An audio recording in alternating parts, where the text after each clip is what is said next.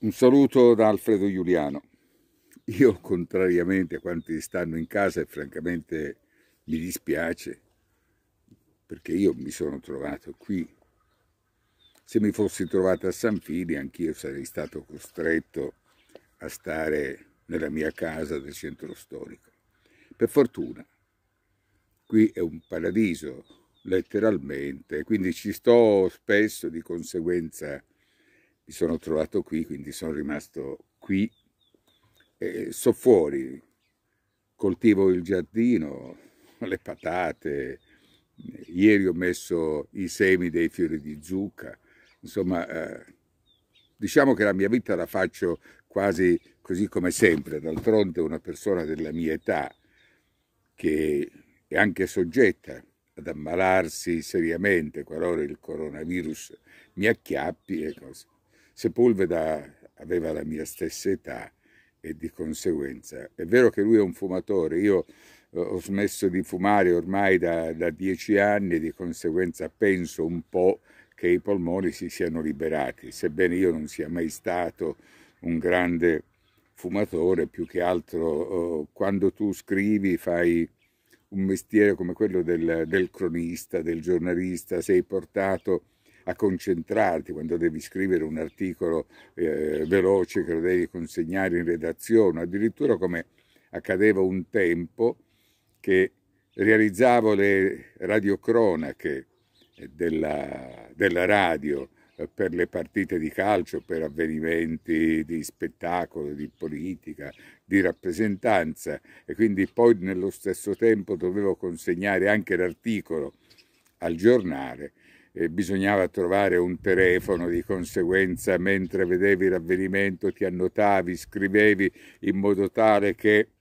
le 10 righe, le 20 righe, la cartella, le due cartelle fossero pronte. Oggi eh, francamente parlare col telefono è realmente eh, rilassante, non esiste nessun impedimento, di conseguenza possiamo parlare di tutto e per chi ha parlato sempre, costantemente di avvenimenti che riguardassero per l'appunto eh, quello che succede, io ho colto la cronaca di tanti avvenimenti che riguardano la società, per cui parlare di tutto quello che ho fatto o raccogliere eh, le testimonianze vicino a un immobile decadente che è stato trascurato dagli inquilini o dalla società che lo aveva costruito e poi fittato,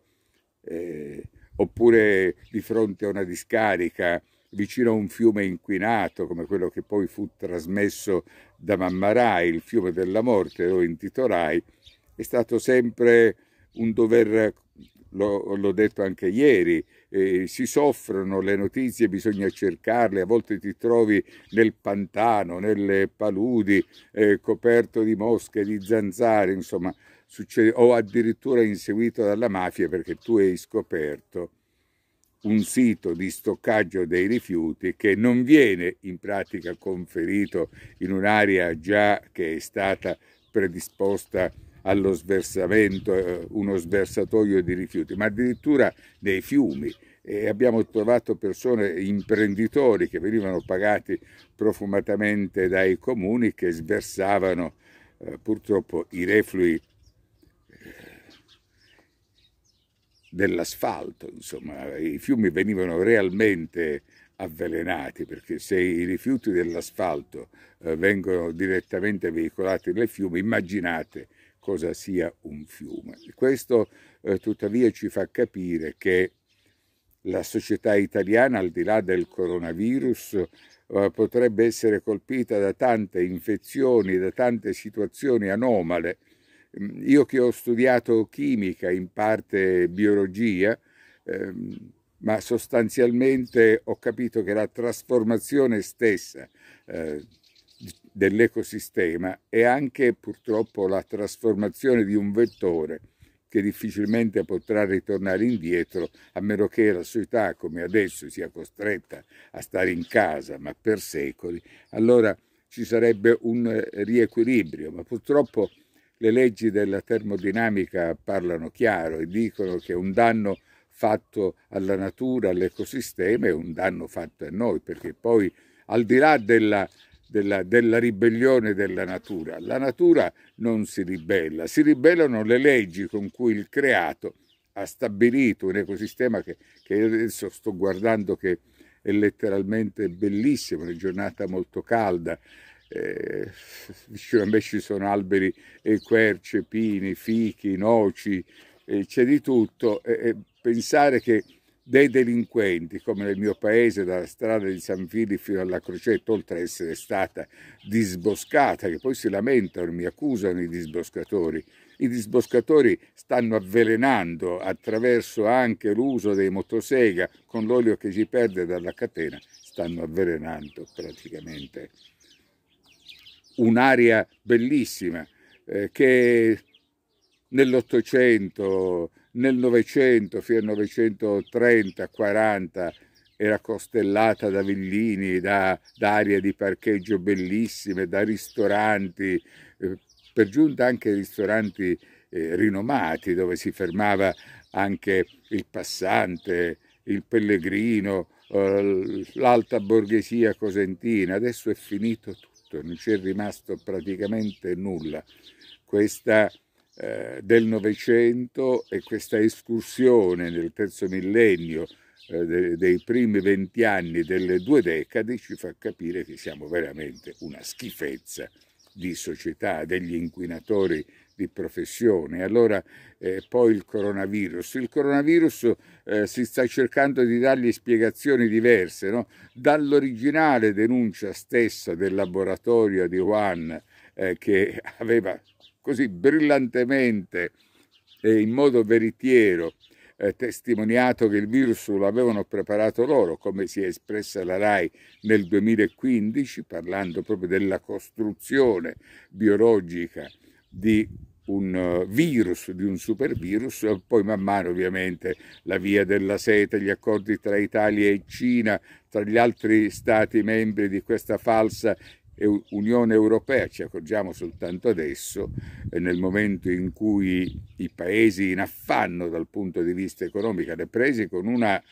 crisi profonda e adesso che verrà di nuovo il cane, il cucciolo uh, di nuovo liberato perché deve lavorare per mangiare, vedremo eh, serie aziende, i piccoli esercizi commerciali, i centri commerciali, vabbè, molti sono aiutati anche dalla situazione che abbiamo denunciato in tutti questi anni, riusciranno a riprendere, quindi a ridare alla società quello che era prima. Per fortuna eh, speriamo che questo si, serva da lezione, ma difficilmente l'uomo riuscirà, come diceva Dante, homo homini lupis, l'uomo di fronte al lupo è molto più feroce e cattivo, e addirittura Omero lo definiva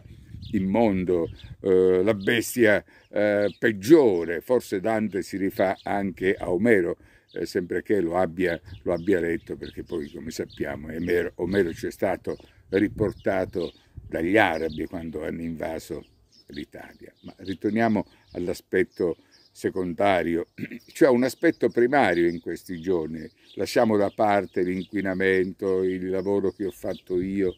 eh, c'è una lite, quasi una disputa, una disputa vera e propria, altro che quasi, tra i medici, i sindaci, i governatori del nord e del sud si contendono. Non so che cosa, visto che eh, in pratica mentre il nord è stato contaminato soprattutto per delle scelte sbagliate nel momento in cui eh, si prospettava una contaminazione di un certo spessore molto significativa, sono state giocate partite di Serie A, quindi c'è stata la contaminazione anche negli stadi, nell'antistadio, e tutti quei movimenti che caratterizzano l'anteprima di una partita, gli allenamenti, il calcio è stato devastante, se non fosse stato per Tommasi che rappresenta il sindacato calciatori. E devo dire che, mm, anche se i 5 Stelle non mi sono per nulla simpatici, che il ministro dello sport eh, Spadafora si è dimostrato subito disponibile, non ha pensato eh, alla propria figura, eh, che potesse in qualche modo diventare antipatica nei confronti dell'elettorato sportivo per la chiusura degli stadi. È stata una benedizione, altrimenti l'infezione la contaminazione sarebbe stata di proporzioni immani praticamente. E questo dobbiamo purtroppo ringraziare il, il rappresentante dell'Associazione Calciatori Tommasi. E questo dimostra che in fondo il nord ha avuto la contaminazione proprio per via di questa situazione. E perché è anche presente l'inquinamento, perché le industrie non solo inquinano ma come abbiamo capito fanno da nastro trasportatore anche per le infezioni, il sud era più al riparo da certi fenomeni, di conseguenza eravamo meno vicini anche al vettore stesso del primo contagio, eh, ma nonostante ciò il virus è arrivato, è arrivato negli Stati Uniti che è molto più distante dall'Italia, dalla Cina, almeno sul versante atlantico, e adesso ha centinaia e centinaia di migliaia di morti, insomma, e non sappiamo anche perché eh, Trump solo in alcuni ha delegato ai governatori degli stati americani di adottare una politica di restrizione delle uscite, eh, di libertà dei cittadini, dentro purtroppo una, una macchina molto più complessa dell'Italia per ciò che concerne il lavoro. Lì comandano i privati, è totalmente assente eh, la funzione pubblica anche delle attività lavorative e di conseguenza era naturale che l'America ne, ne, subisse particolarmente il contagio, ma il contagio che riguarda tutto il mondo. L'unico Stato, perché immediatamente ha ritenuto che i tamponi potevano essere lo specchio preciso della contaminazione, quindi del contagio della popolazione, è stata la Corea del Sud. Di conseguenza adesso noi cosa, cosa facciamo? Perché la RAI manda o Canale 5 manda una giornalista eh, per raccontare come si svolge il traffico, ma il traffico in una città come Napoli, perché la questione riguarda per l'appunto Napoli, la presa di posizione eh, della sanità attraverso dei portavoce addirittura in maschera, chirurghi che, senza, che, che senz'altro eh, stanno lavorando e, e, lo fanno in modo eh, appassionato, eh, rischiando la propria vita. Ci sono eh, tante cose che noi apprezziamo, ma non apprezziamo che per l'appunto un chirurgo eh, possa mettersi la mascherina per controbattere alla chirurgia del nord, ai governatori del nord. C'è una guerra in pratica in atto, una guerra fatta di chiacchiere, di parole che non condurrà, non ci porterà su nessuna eh, pista o terreno di scontro perché resta confinato nell'ambito delle parole, oppure il governatore mentre il governo Conte si appresta a dare eh, una certa elasticità alle uscite e alla ripresa del lavoro, De Luca dice io eh, metterò eh, ancora di più in quarantena, chiuderò le porte della campagna, ma tu non sei nessuno. E purtroppo in tutto questo succede che i governatori, lo stesso Stato, abbiano di conseguenza lavorato male in questo senso, perché non si può precludere la libertà di uscita ai cittadini perché viola e l'ha violato un caposaldo della nostra Costituzione in uno Stato di diritto. Quindi è banale. Io penso che bisogna chiamare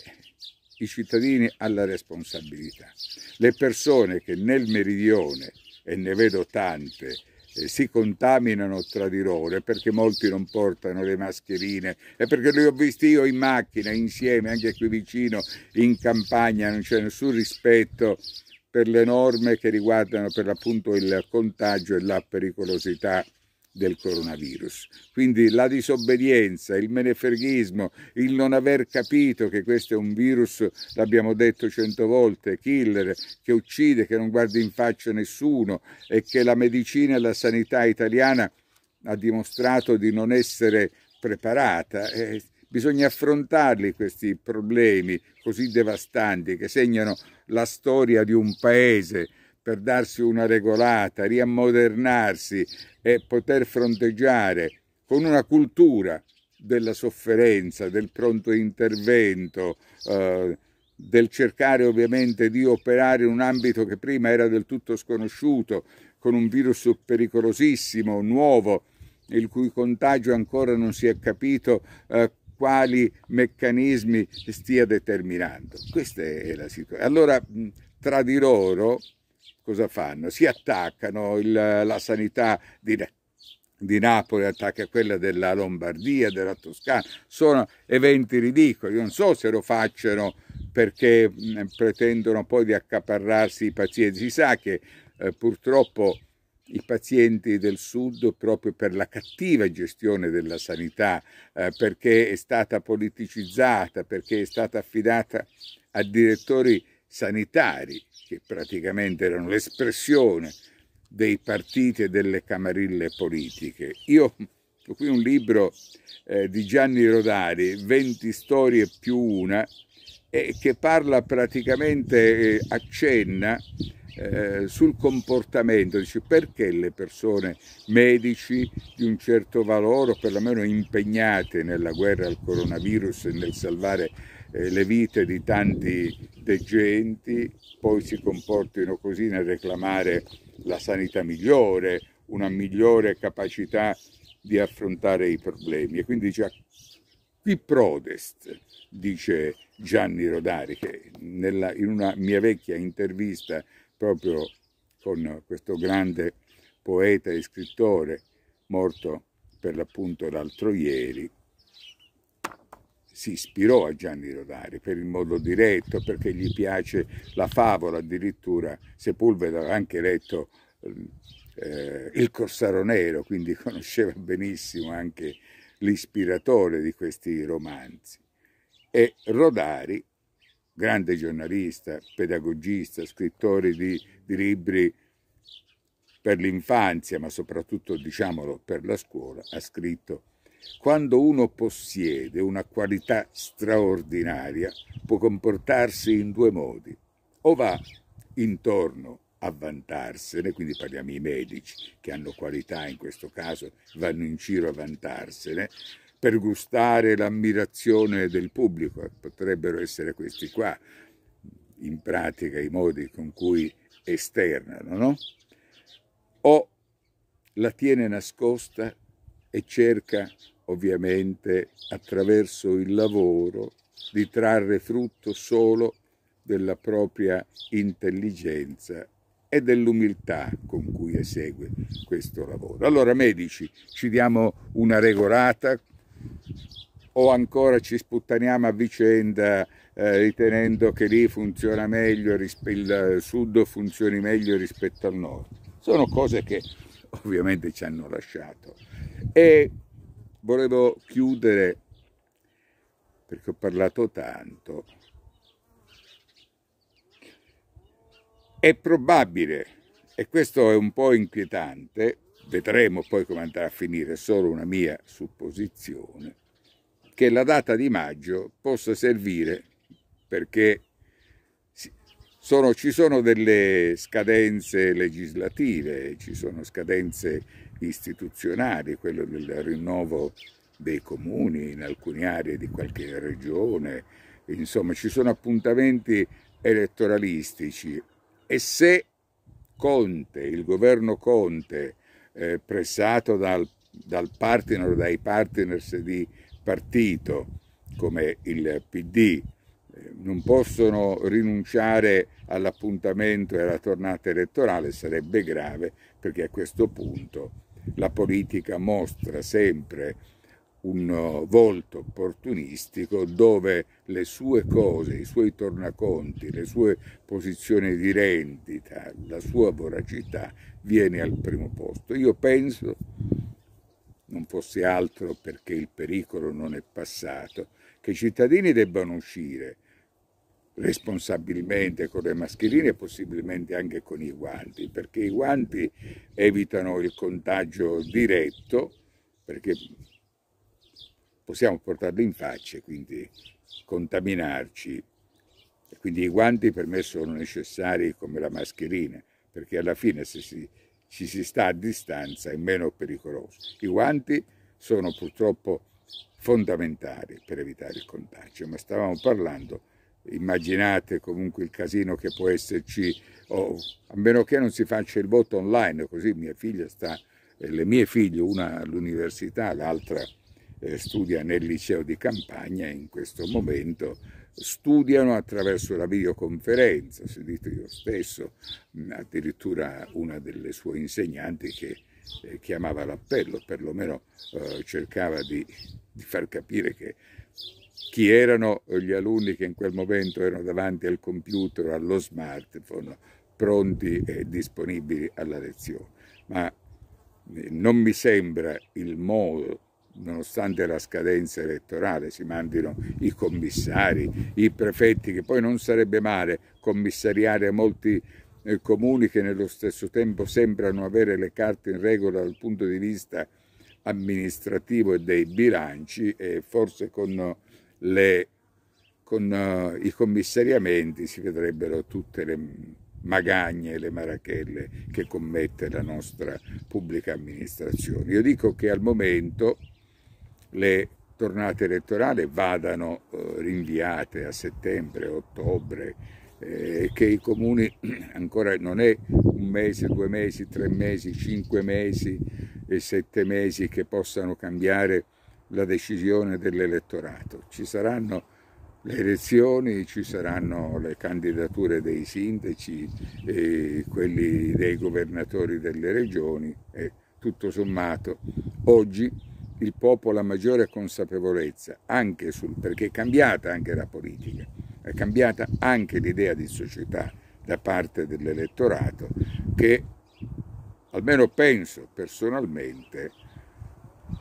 probabilmente ci sarà una svolta, potrebbe esserci anche una grande astensione. Ecco, l'astensionismo questa volta